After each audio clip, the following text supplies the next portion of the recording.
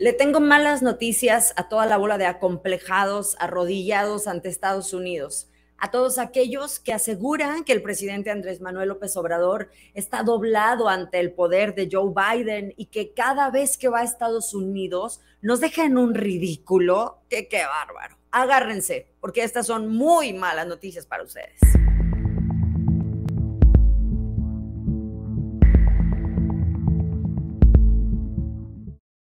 Pues bueno, sabemos perfectamente bien desde hace tiempo, desde que comenzó el conflicto entre Rusia y Ucrania, que el precio de la gasolina, sobre todo en los Estados Unidos de América, ha sido, pero llevado a las nubes estrepitosamente. Estamos hablando de que el precio regular de la gasolina en este momento aumentó cerca de 62 centavos de dólar en dos semanas.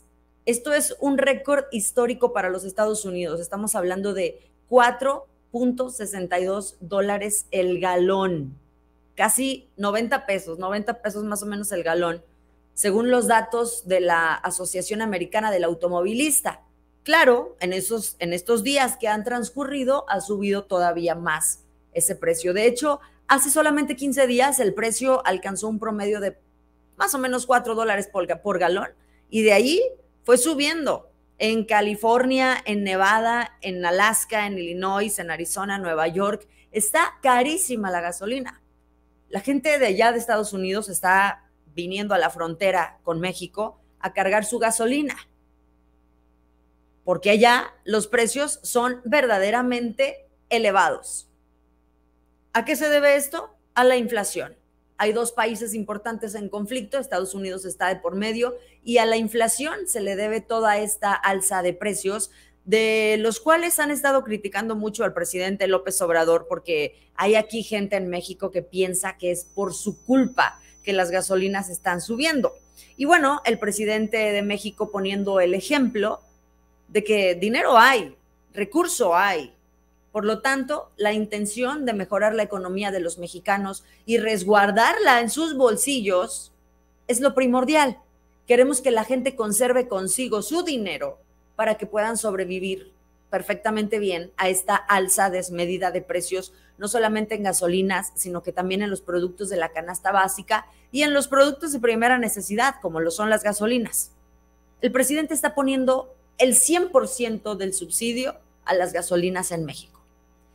Y para desgracia de todos aquellos fachitos que se avergüenzan del presidente López Obrador porque según ellos nos deja en ridículo cada vez que va y se para en Estados Unidos, pues la mala noticia es que el presidente Joe Biden ya está considerando, al igual que el presidente Andrés Manuel López Obrador, suspender los impuestos a las gasolinas, como está pasando aquí en México el gobierno de Estados Unidos ya está planteándose la posibilidad de seguir el ejemplo de México, suspendiendo temporalmente el impuesto a los combustibles.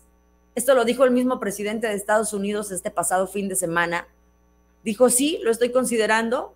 Espero tener una decisión basada en los datos que estoy buscando para el final de esta semana. Para antes de que acabe esta semana, el presidente tendrá que decidir qué hacer ante este, esta crisis de precios elevados que está teniendo Estados Unidos en el momento. Y es que ya están desesperados por frenar los costos de la gasolina. Tienen un año, un año en constante aumento y la gente ya no puede más.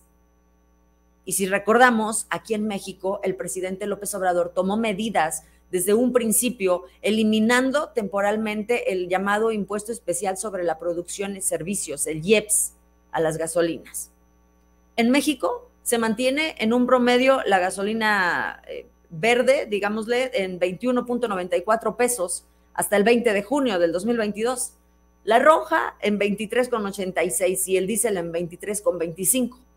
En Estados Unidos está a casi 90 pesos el galón. Para todos aquellos que lloriquean cuando el presidente López Obrador va a Estados Unidos y sacan su lado malinchista y se creen gringos y se creen superiores por alguna estúpida razón. Malas noticias, malas noticias porque el presidente Biden no solamente es uno de los más íntimos colaboradores del presidente, no solamente le ha externado su apoyo a él y a toda su familia, sino que ahora también el presidente Biden se une a la lista de admiradores del presidente López Obrador, pero por la sencilla razón en que está procurando el bienestar de su pueblo y ha tenido que estar moviendo estratégicamente ciertas piezas. Decían aquí en México, nos vamos a quedar pobres con tanto subsidio. Bueno, uh, que la canción. ¿Qué quieren? ¿Que se subsidie ese impuesto o que no? Porque digo, si no lo estuvieran subsidiando, ahorita ya estarían ladrando los perros que, que inepto López Obrador, que tenemos que estar pagando a nosotros el IEPS de las gasolinas. Y si lo subsidia, porque lo subsidia. Y si lo subsidia más, pues nos vamos a quedar pobres. Y si lo subsidia menos, qué codo. Nunca se le da gusto a la gente. Sobre todo la oposición. A esa oposición que se muestra rígida ante, ante un cambio posible de opinión. Definitivamente no van a cambiar de opinión, van a seguir avergonzándose del presidente, mientras que en otros países hay gente hay civiles y hay mandatarios que le aplauden sus políticas económicas, externas y de todo al presidente Obrador. Así que, pues quédense haciendo su berrinchito. Esperamos que se les pase pronto el chorrillo que les dio después de enterarse que el presidente Biden ya está considerando también suspender los impuestos a la gasolina, porque la gente en Estados Unidos ya no puede más. Y aquí en México, en la frontera norte, ya están dejando de surtirle gasolina a la gente de Estados Unidos, porque la gasolina es de México, pues lo siento.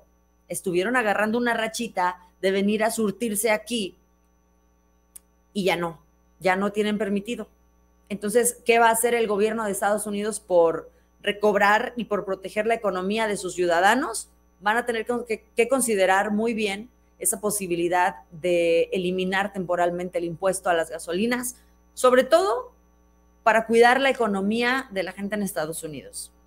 Así, nuestro presidente López Obrador, hoy líder mundial, referente mundial, no solamente a nivel eh, Estados Unidos, México, sino Latinoamérica, porque tenemos una cola de países que han aplaudido las reformas, las propuestas y las políticas que ha implementado el presidente López Obrador. Muéranse del coraje si eso quieren, porque prefieren estar de ese lado haciendo berrinche como si fueran fifís. No, señores, fifís son los que tienen billete de de veras, no los que comparten las notas de Carlos Loret de Mola, no se confundan. Y bueno, esta es una buena noticia, una probable buena noticia para la población estadounidense, para nuestros paisanos que, que viven allá y que tienen que estar pagando el alto costo de las gasolinas. Es una buena noticia que el presidente Biden esté considerando eliminar, eliminar el impuesto y brindar un subsidio para la economía de todos los estadounidenses, así como se está haciendo aquí en México desde el año pasado. Pero bueno, como les decía, no hay a quien se le dé gusto. Enhorabuena para todos nosotros. Mi nombre es Alejandra Salazar. Muchas gracias por acompañarme en este video. Gracias por compartirlo, por darle like y por dejarme tu comentario. Déjame saber qué opinas. Quiero saber qué es lo que piensa la gente de México y también a nuestros paisanos en Estados Unidos acerca de este subsidio. Nos vemos más tarde con más información. Thank you.